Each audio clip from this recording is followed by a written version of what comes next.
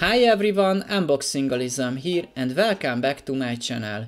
In this short video I will show you how to activate the silent mode on your iPad Air 2024. Let's start it. Simply swipe down from the top right corner of your screen to open the control center. In the control center, look for this bell icon to turn on the silent mode. If you can't find it, you can add it to the control center. Go to settings and select the control center, then select it from the more controls section.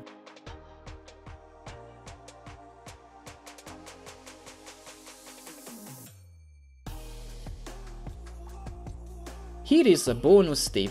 Press and hold the streamline icon to rearrange its position in the control center. You can move it to the top to make it the first icon or move it to the last position. That's it, we are done. At the end of my video, let me ask you a small favor. As you can see, most of my viewers are not subscribed. If you find my video helpful, please take a second to give a like and click on the subscribe button to help my videos reach more people. Thank you and see you in the next one.